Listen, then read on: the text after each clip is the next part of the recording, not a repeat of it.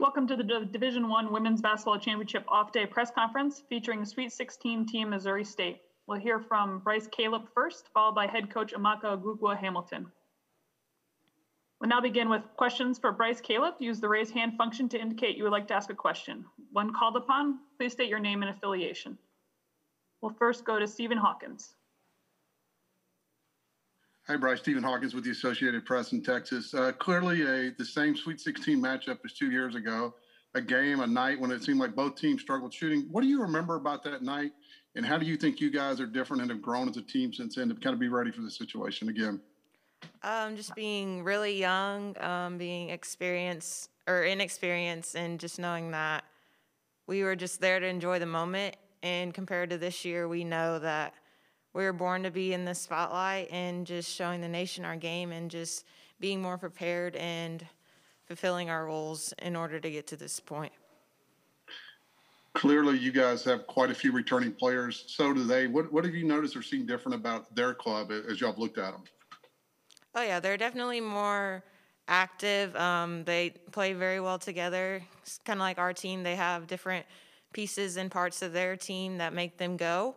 Um, we just need to be aware of that and just take care of business. All right, thank you.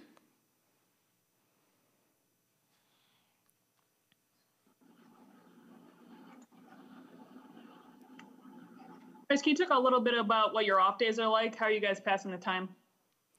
Oh yeah, yesterday we did a team activity. We watched The Conjuring. That was pretty scary, but a great bonding moment. And we also toured the Alamo. That was really exciting to learn just about history and culture of our country and how it's moved on and changed to today's time. And just being able to enjoy each other's company, just staying in the hallway, have our distance, but also just having the time of our lives, just playing games, playing Mario Kart on the Switch. So just enjoying each other's company. We'll go to Steve Kroner. Yeah, Steve Kroner from the San Francisco Chronicle. Brice, what impresses you most about Stanford, and what can you your team do to uh, take away that uh, impressiveness, so to speak? I would just say their experience as well. They've clearly been here multiple times. It's their tradition as a program, and just like our team as well, they have the same pieces, I believe. And I think just in order to take care of business, we need to defend like we did against Wright State and just key in into the, our matchups.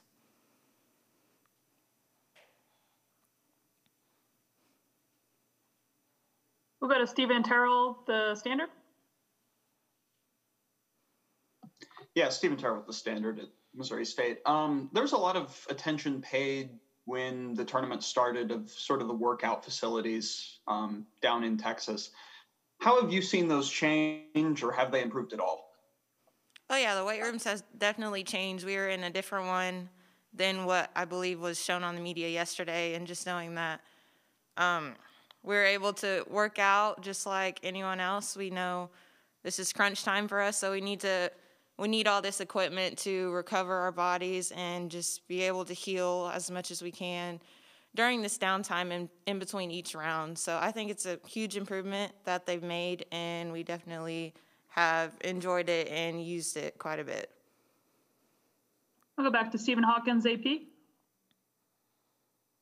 You, you were talking a minute ago, clearly more experienced as a group. Uh, the one significant change, obviously, is your coach. And last year, y'all played under the new coach and had a great year, didn't get this opportunity. But how different are you guys with, you know, since the coaching change or, and what changed after that?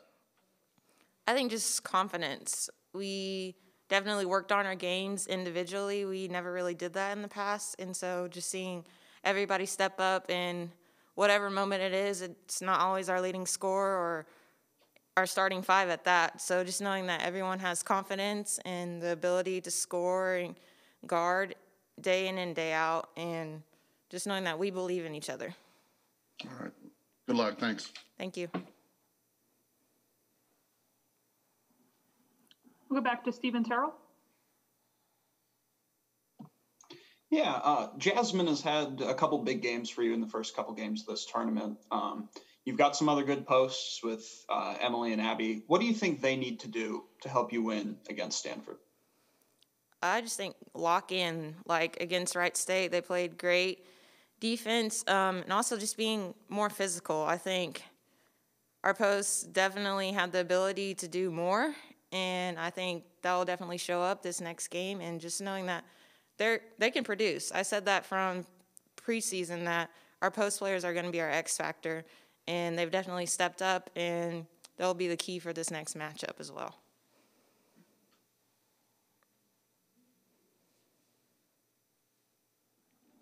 Go to Steve Kroner. Yeah, Steve Kroner again from the San Francisco Chronicle. Uh, Brice, I know you're known for your defensive prowess. Do you get extra motivation going against a Kiana Williams, going against a Lexie Hull? Does, does their offensive game raise yours, your defensive game?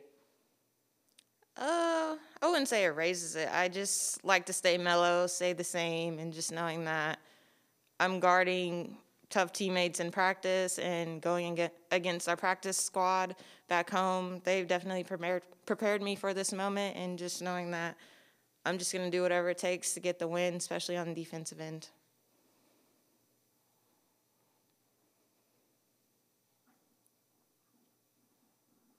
Brice, can you describe what this unique tournament experience has been like for you? Oh, yeah, it's definitely been exciting just knowing that we're able to even have this tournament. It's definitely rewarding for our program. We know we were heartbroken last year and even heartbroken not to be able to continue to play in our conference tournament. So just having this opportunity and just competing at the highest level that we are right now and just keeping our journey rolling and we know we deserve to be here and just enjoying the moment as we go. We'll go back to Stephen Terrell. You talked about at the beginning um, how when you were here a couple of years ago that you were a young team and you were really enjoying the moment, but now you want to w- you want to win and go further than this, maybe more so than you did then. How has Mox help kind of drive that into you guys?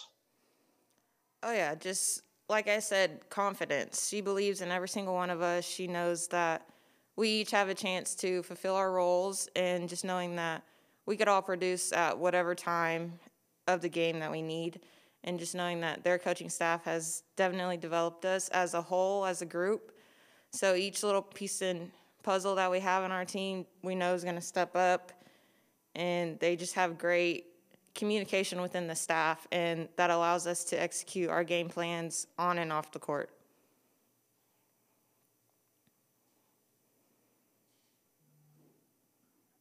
Brice, thank you for your time today. Good luck tomorrow. Thank you. We'll be joined momentarily by head coach Amaka Agugua Hamilton.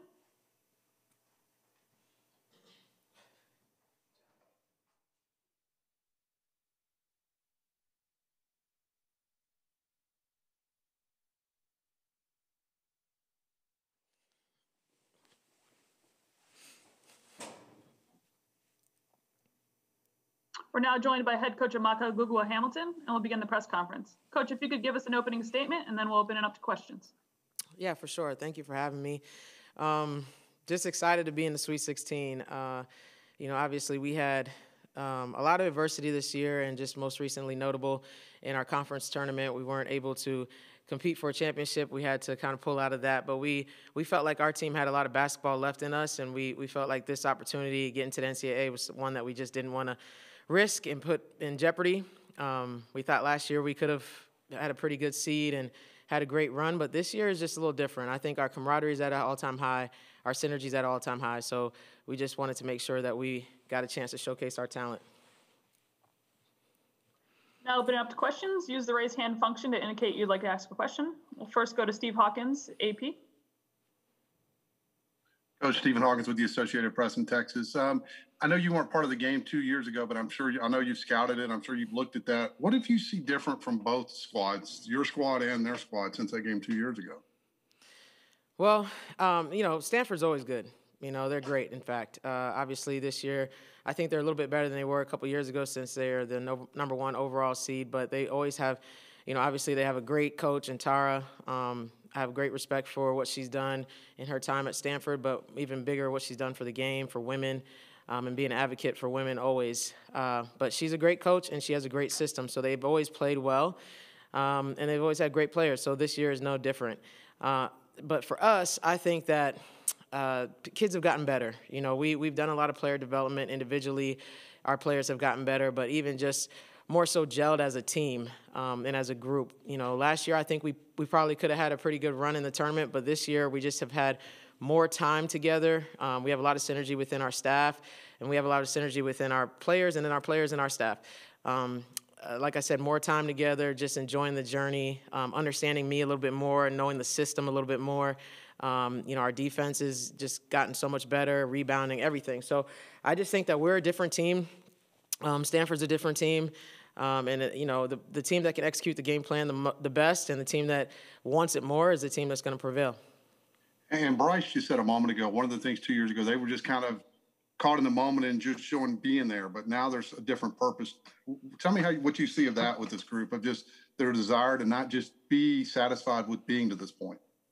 Yeah, I mean, obviously, I didn't know them when they went on that run, right. um, the Sweet 16 run, but my guess is they wanted to win just as bad as they wanted to win now. I mean, maybe they didn't expect to win, but I know that they had the will to win.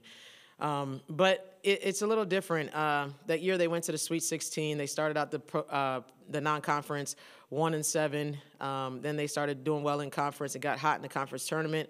Won the conference tournament.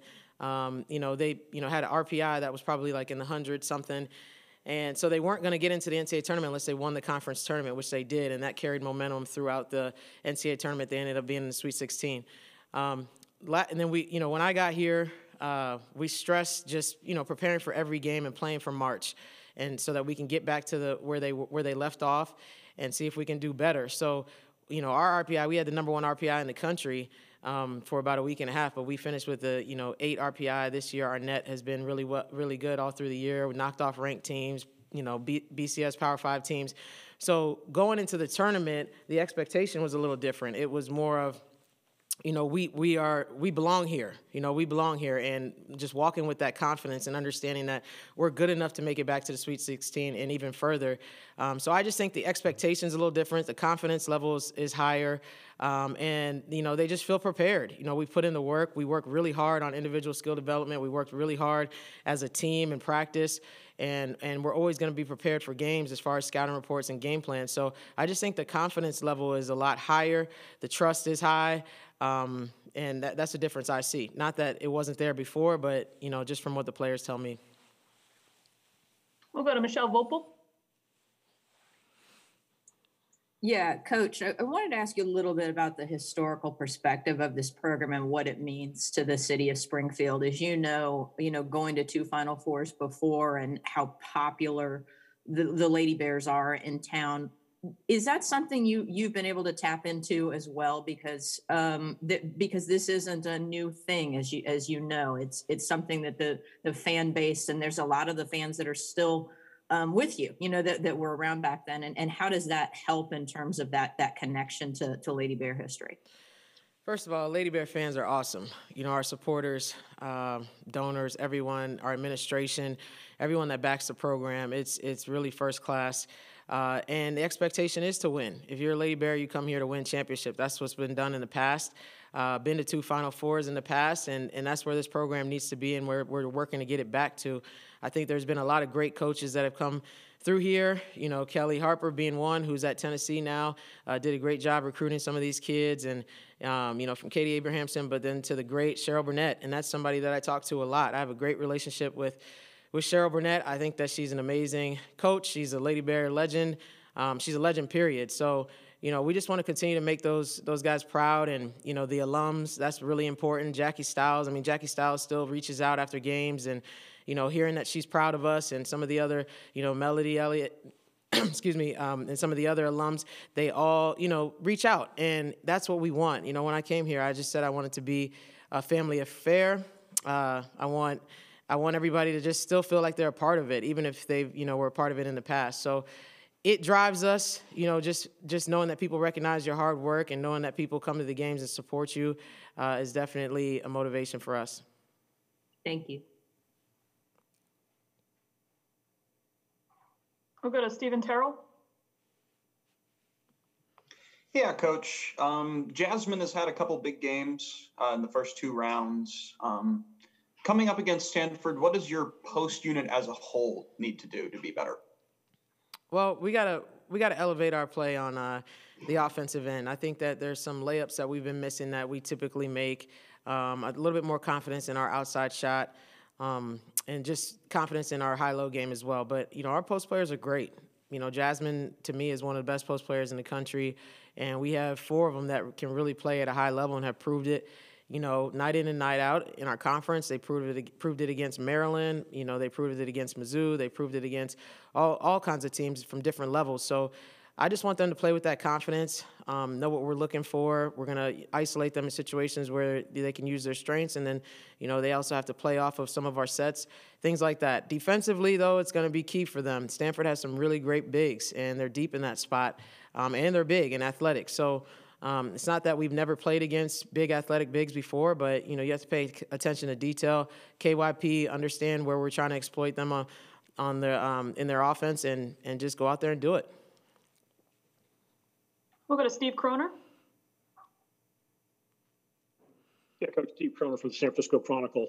A lot of times in the lead up to a game, uh, you talk about matchups, player against player, but there's also the matchup head coach against head coach. You talked about, uh, you know, what what you think of Tara, but when you get in the game, do you have to try to think how she's thinking? You know what I'm trying to say? What is your perspective on going up against Tara Vanderveer as a head coach? Well, it's an honor for one. Um, she's a legend in our game, uh, one of the best coaches to ever do it. Uh, so I, I respect her for sure. But just like I tell our team, you know, we respect all, fear none. So I'm not going to go in there scared just because of everything she's accomplished. I understand I'm a young head coach, but I'm, I'm confident in what we what we do as a coaching staff, um, what we do as a team, and I'm just going to go in there and walk with the same confidence I always do, and just focus on my team and and putting them in positions to be successful. I'm not going to try and get in her head. I mean, she's brilliant. She's going to have a great game plan. Her team's going to play at a high level. So I just need to focus on us and what we do, and make sure we do it to the best of our ability. We'll go to Dan Lucy. Hey, Coach. Uh, this is Dan Lucy, KOLR 10 in Springfield uh, you just mentioned it a second ago respect all, fear none as a motto for this team. When you're going through the valley, you guys are the, are the top dog in the valley. Now you're taking on the number one overall seed. That fear, respect all, fear none has a different meaning. Do, do you talk to your team a little bit about that? Uh, it has the same meaning. You know, we respect Stanford, but we're not going to fear them. Same way we didn't fear Maryland when we played them, who's one of the best teams in the country as well. So, uh, to us, you know, we don't play the front of the jersey. We got to focus on us and we got to believe in our talents. And we got to believe that we belong. I think that, you know, our team, what drives us a lot is that we feel like we don't get a lot of respect. Um, and that's true. You know, you don't see, we're, we're a ranked team all year, and you don't see Missouri State all over the place because why? Because we're mid major, I guess. I don't know. But we have one of the highest nets um, in the country. Uh, last year, we had the highest RPI in the country at some point and finished with the top 10 RPI. So, you know, we, we've, I think, earned the right to be respected, and we do get disrespected and overlooked. Um, so that drives our players. They want to prove that they can play with some of the best players in the country and that they are some of the best players in the country. So if you want to be the best, you got to beat the best. Stanford is the best. And so we're not going to look at it as a, oh my gosh, we shouldn't be playing them. We don't belong here or fear them. We're just going to try and do what we do and go out there and give it our best shot. The last question today we'll go to Stephen Terrell. Yeah, Coach, you've been in the bubble for a little bit now. Um, kind of what's that experience been like with your team? Uh, with the team, it's been great. Um, you know, obviously, the, NCAA tournament brings a lot of excitement, and there's usually more activities and things like that that we're not getting. You know, the, even the send off from our fans and having our band and cheerleaders and all that stuff. You know, we're not we're not doing that, but at the same time, you know, especially well, my, my philosophy, just period, is to enjoy the journey and stay present and not take any day or anything for granted. Um, and I've been preaching that since day one, but just when the pandemic hit, you know, it kind of hit home a little bit more. And so we've just been trying to enjoy each other, and this is no different. Having being in the bubble and having more time with each other, even though social distancing. Um, when we can get together, we try to play games, team bonding, just try to enjoy the moment, stay present because you know, this is a dream. It's a dream come true, and for them to do it twice is a, is a testament to the talent on our team, um, and you know, our coaching staff and the previous coaching staff. But you know, a lot of people don't ever get to experience the Sweet 16. So we just want to try and take advantage of every moment we get and just and enjoy the ride for sure. Coach, thanks for your time and good luck this weekend. Thank you. That's it for today's press conference. You can find a recording of it on the NCAA Digital Media Hub at ncaa.veritone.com. Thanks for joining us.